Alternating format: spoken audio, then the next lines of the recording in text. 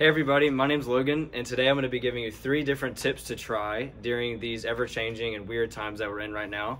Um, the first is to be informed uh, with the changing information, um, but also don't be over-informed. Um, it's also important to make sure that you're using useful and well-informed resources, as in the World Health Organization's website or also the CDC's website. You want to make sure that you're getting information um, the right way um, rather than social media or other outlets like that.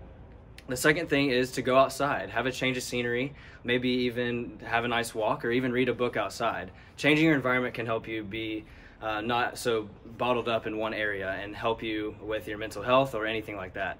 Um, the third thing that you can try fostering a dog.